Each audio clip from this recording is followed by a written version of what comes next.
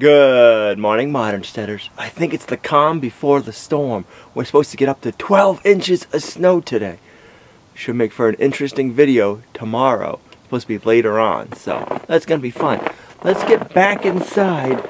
We hit 20,000 subscribers today. We wanted to thank all the Modern Steaders for that. This is our Wednesday night.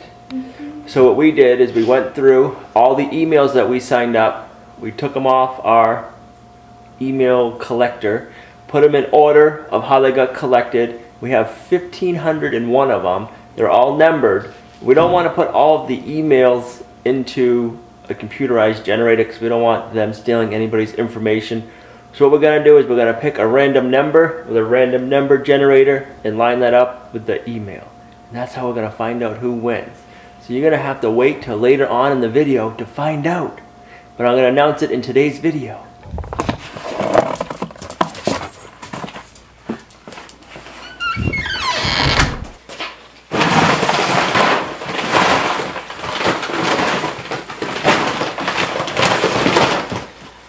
The chickens are finally starting to up their egg production. We're getting anywhere from five to eight eggs a day right now.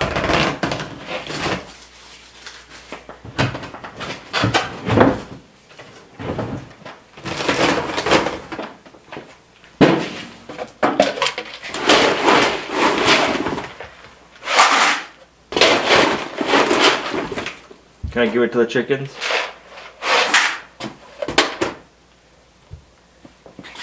Before we go outside, let's check on our celery. We got it under the grow light.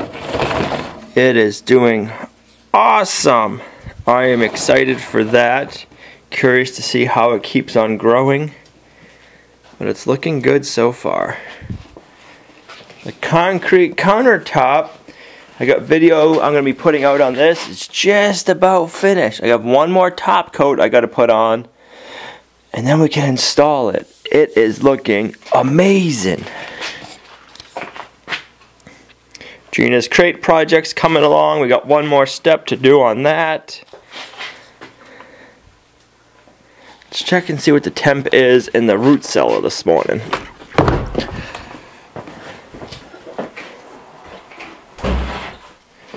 We're at 32. Awesome. We have our sauerkraut in here. That's all ready and done. We're just keeping it cold. The meats are looking delicious as usual. Potatoes are doing good. Every time I walk in and see them, I just keep thinking about the April three-day pasture to plate hog culinary class we're going to be doing here. It excites me.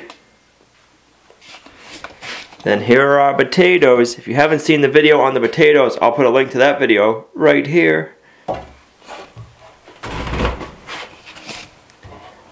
You're always wanting in there, huh? Oh, you're hiding over there this time? What? You think I was going to leave the door open for you?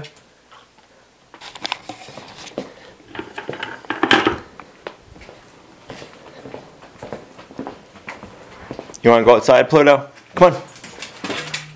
Go upstairs.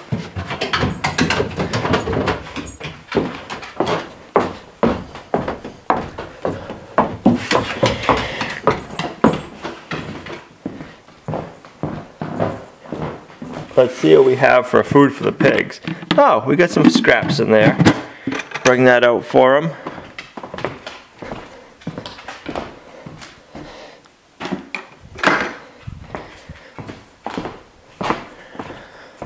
I started a nice loaf of bread this morning that will cook up tonight. We'll have fresh bread for the rest of the week, another nice loaf. If you haven't seen the video we did on making our bread, I'll put a link to that video right here.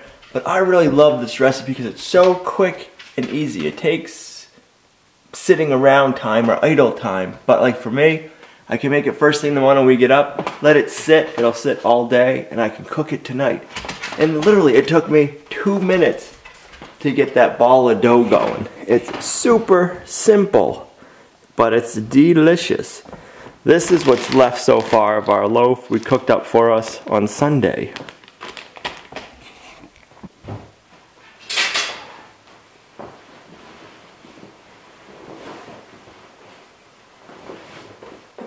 You gonna jump up in the window, Figaro, when we go outside and keep an eye on us? Huh? I bet you will.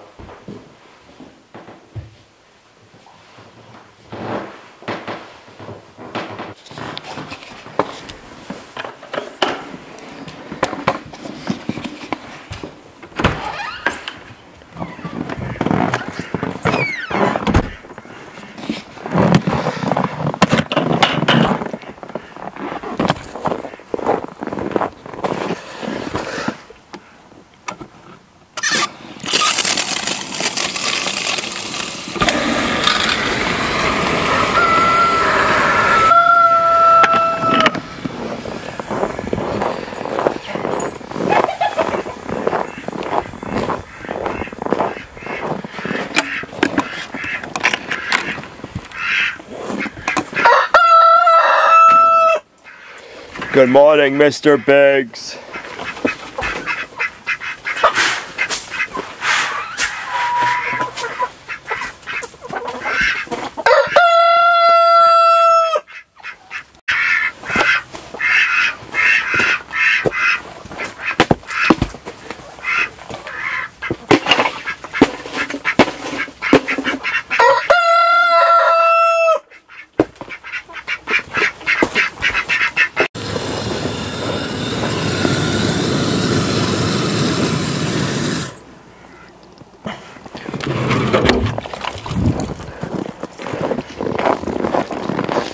Find anything good over there, Pluto? No?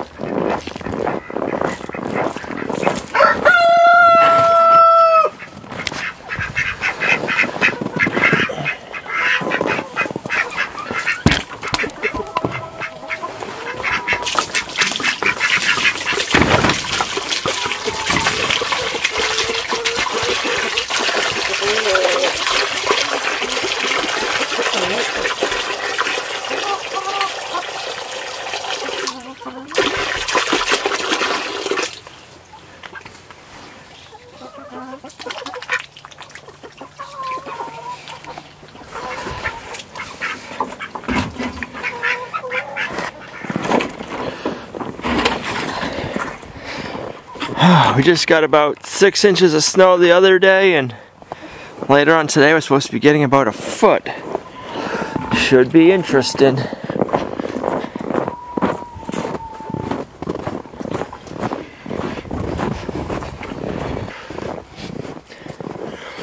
You girls look nice and warm in there.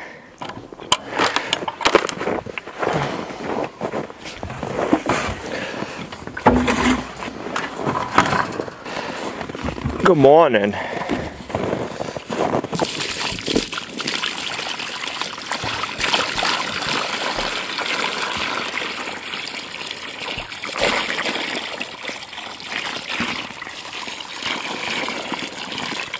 Got some more food for you. You sleepy this morning? Huh? Yeah, you were sleeping in. I don't blame you.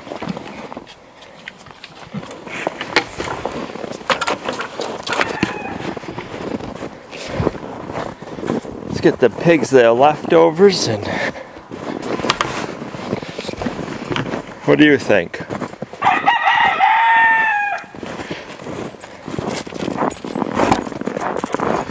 I think you're crazy.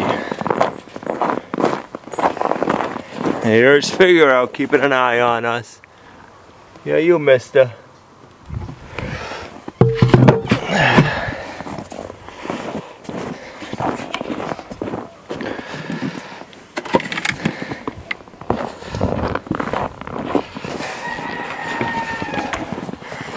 Morning. I know, we just said that a minute ago, but I got some food for you now. Ready? Got some good stuff.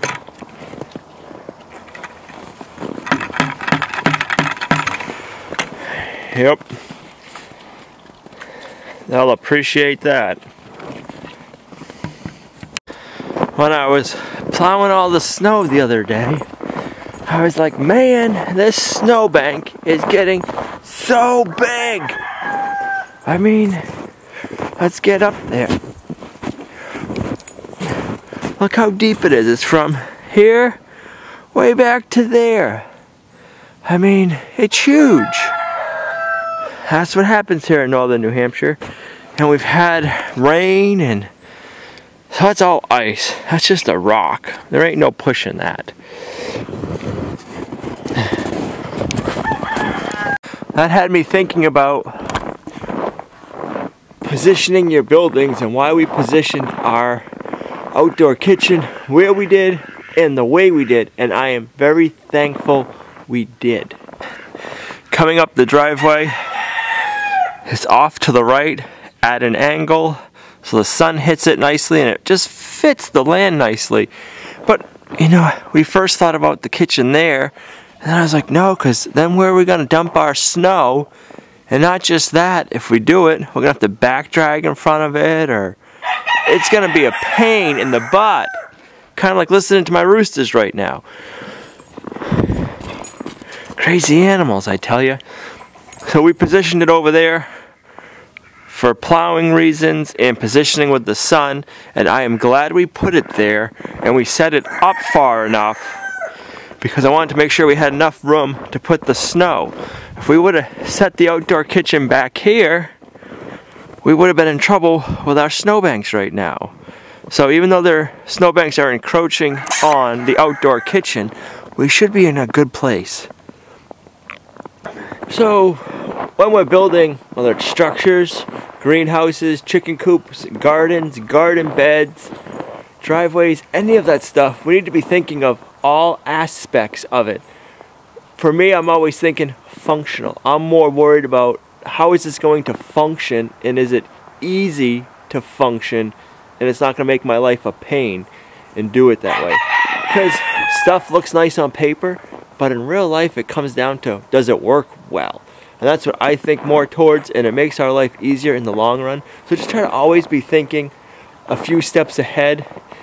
It doesn't happen overnight. We live and learn and just keep living and learning from all of our experiences and mash them all together, and we get better and better as time goes on.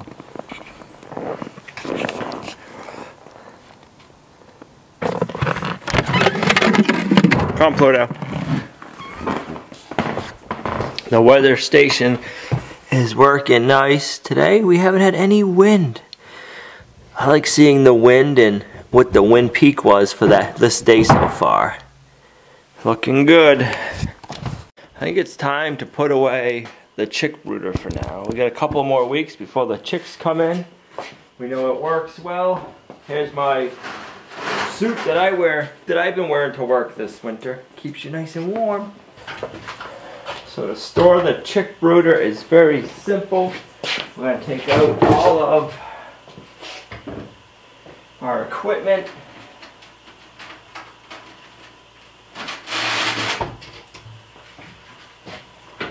One of the other nice features about the five gallon bucket water is when we're not using it, we can store the feeder in it. Fits in there perfectly. The waterer and all the other things we need. And then put the lid back on here. Then we know that's all in one place. What do you think? This is your chick brooder? This was built because of you to keep you out.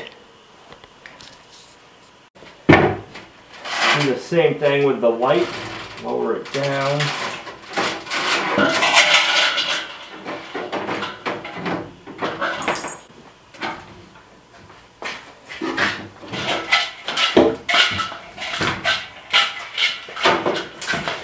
You know what? I can also keep my duplex nails in the five gallon pail.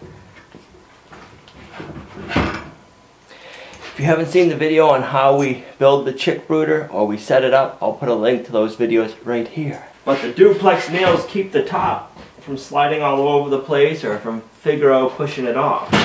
And it's simple. Stick all them right in here. And this way when we go to put it back together, everything will be in the same spot.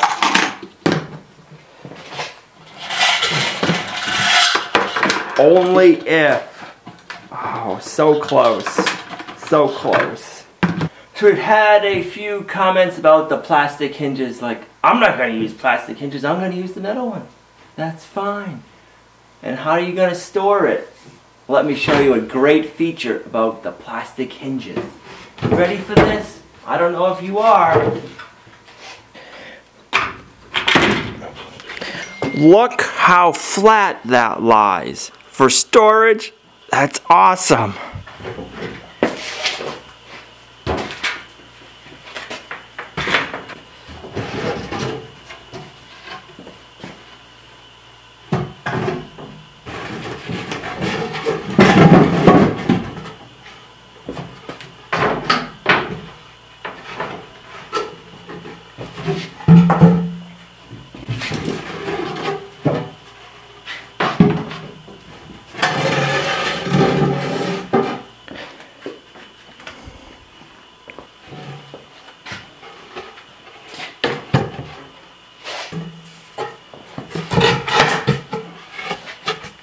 I'm going to keep the one with the eye bolt on the outside.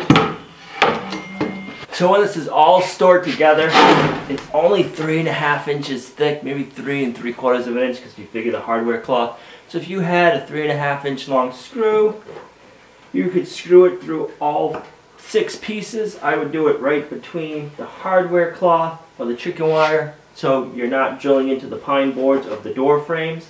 And do two of them, one, two, three, or four.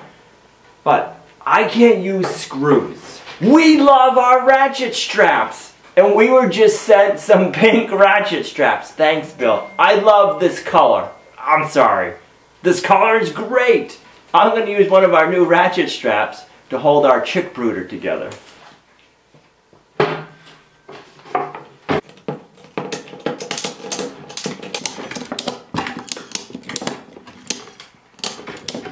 That's a pretty color. Pretty bright too.